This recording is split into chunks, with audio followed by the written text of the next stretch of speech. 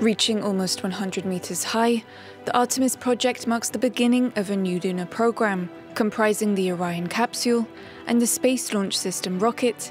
It will be sent around the moon on Monday from Florida, becoming the most powerful space rocket ever to leave Earth. I know that can sound cliche, but we're going to the moon for all people, you know, and we've got this great international cooperative that's going together.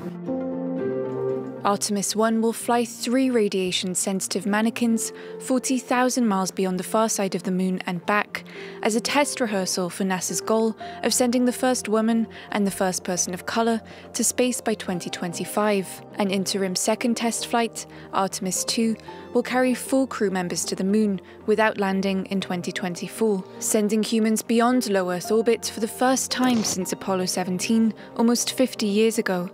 Thanks to the Orion, the human spacecraft will be able to stay in place for a much longer period of time than in 1972. We can support a crew of four in the Orion capsule. We can support a 21 day mission.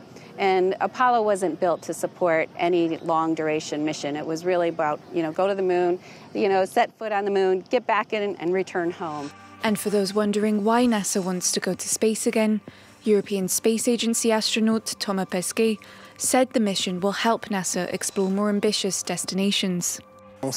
We know that scientifically Mars is more interesting, no one says otherwise, but we first need to know how to do it on the moon, to rehearse a bit, and going to the moon will help us get to Mars.